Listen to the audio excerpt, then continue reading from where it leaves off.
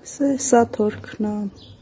վրչե միտես բազման։ Տեղ յուղի բնակիչը մրջունի պես բազմացող թշնամուն նկարահանել է իր տնից։ Ադրբեջանցիները տեսանելի են անզեն աչքով, լցվել են տեղ յուղի արտերն ու սկսել ամրանալ։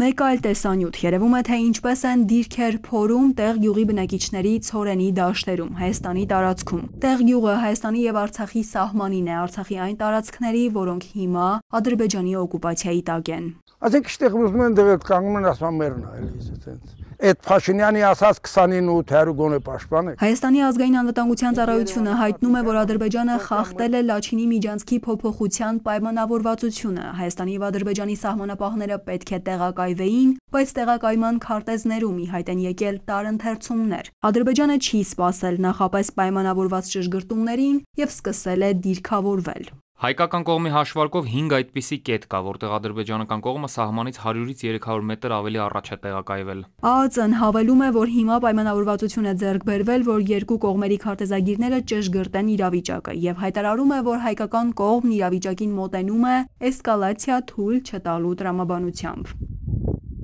Այս ամենը սկսվել է Լաչինի միջանցքի սկզբնամասում ճանապարհի փոփոխությամբ։ Տեղից Աղավնո, այնտեղից Լաչինի միջանցքով դեպի Ստեփանակերտ։ Այս ճանապարհն այսուհետև փակ է։ Սյունիքից Արցախ հասնելու համար այժմ կօգտագործվի տեղ Կորնիձոր գրունտային նոր ճանապարհը, որը գնում ու միանում է Կորնիձոր Հինշեն ճանապարհին Բերձոր Լաչինի միջանցքին։